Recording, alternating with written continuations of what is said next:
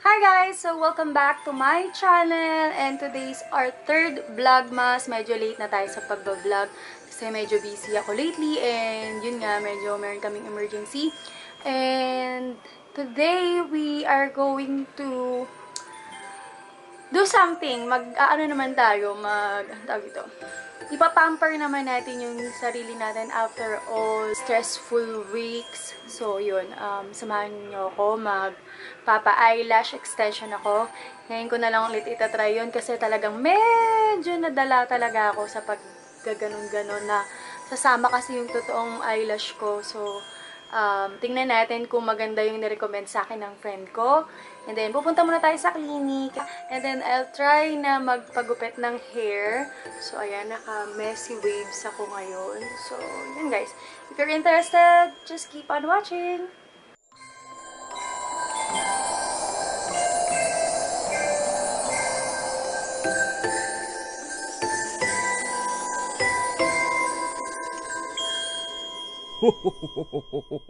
So, ayun na guys, sa clinic na tayo. Ayan. So, magko-coffee lang muna kami ni Mariel. And then, gugora na tayo. So, yun guys. Ay, makita yung lavish. Ano, kamusta Mariel? Hihingal na ako kakalaman. Gigil na si Ate Mariel. Tatanong siya. Hindi namin mahanap yung lavish kaya?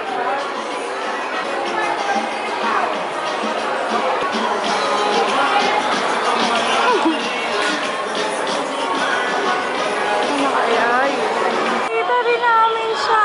Yes, yayakapin ko.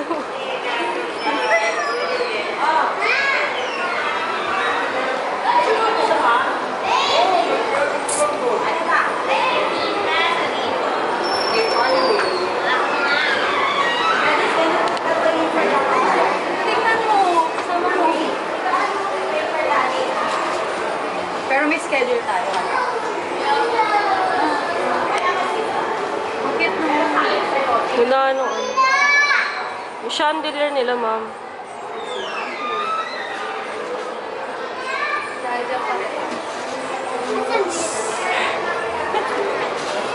Ito yung prices ko nito.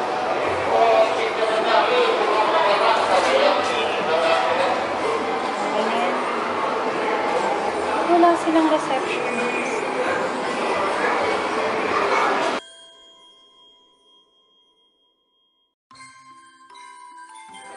Ang dami na palang tao.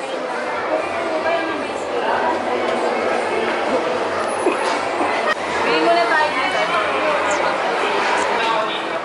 Ay.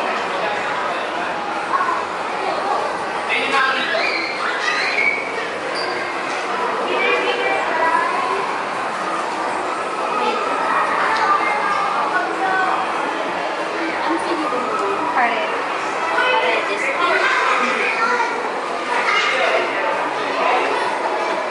Tanggal na.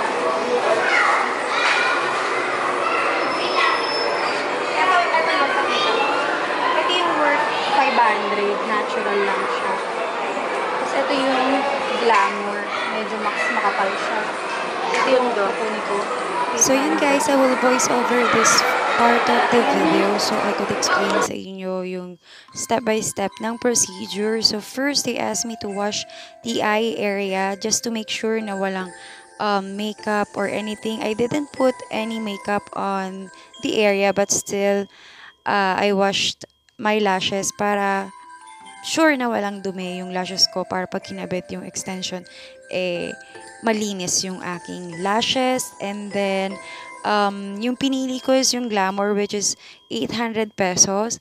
And 75 lashes each ay yung ikakabit nila. They also have yung parang natural lang, which is 550 pesos.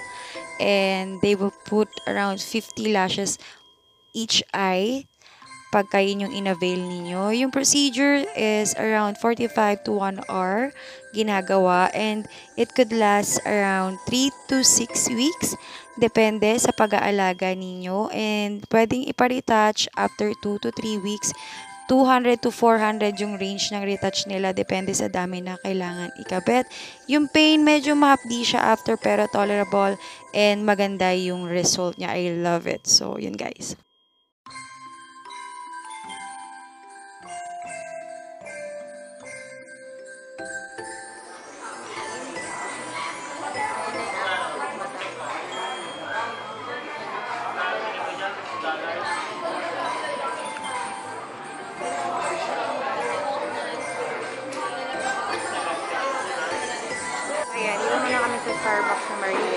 Hello, Mariel.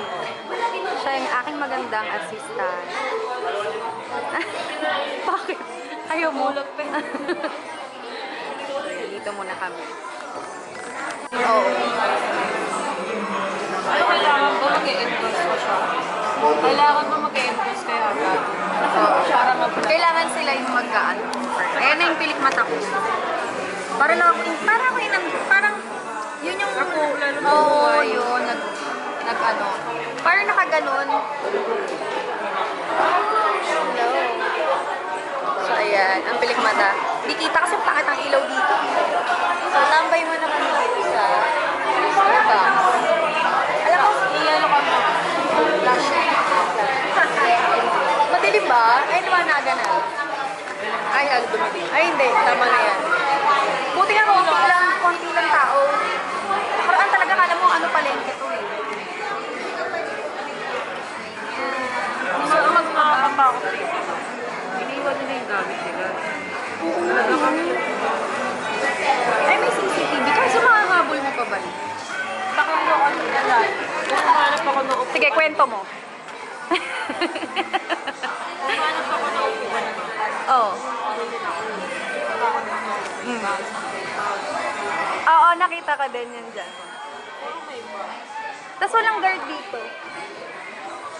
Diba? Hindi lang nachichempon siguro.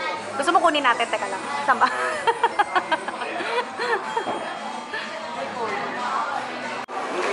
Nasa national po kami. Ay. Ititigan daw si Ma'am Kim. Anong year ka? 1995. Boar. Boar. Wild boar. So,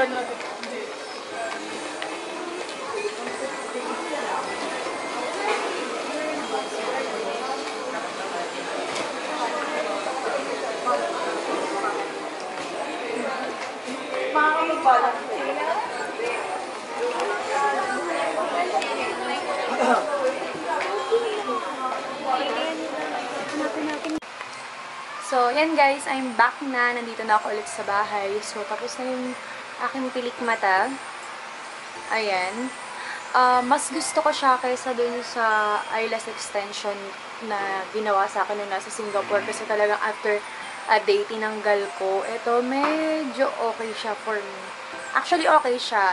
Siguro naninibago lang ako dahil hindi ako sanay ng nag-eyelash extension. And maganda naman siya for me, maganda siya. So, yun guys. Mag insert ako ng picture ng before and after para meron kayong um, reference kung gusto nyong magpagawa. So, yun. Um, yung price nito is 800. This is yung Glamorous or Glamour. Tapos, merong 550. Yun yung parang natural lang. So, gusto ko kasi yung parang may mascara na siya para hindi na ako magmamascara. But, yeah. So, yun siya guys. So, sana nagustuhan niyo yung vlog ko. Gusto ko pa sanang uh, maglagalag. But unfortunately, nagkaroon ako.